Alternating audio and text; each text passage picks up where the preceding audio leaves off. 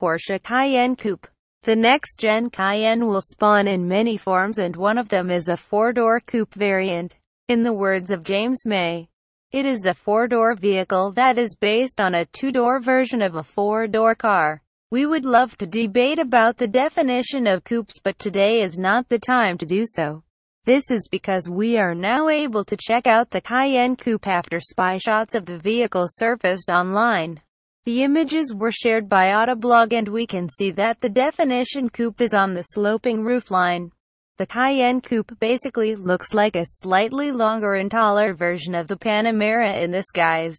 But since we are nothing more than ordinary consumers, anything from Porsche should be loved hence we can't wait to meet the Cayenne Coupe.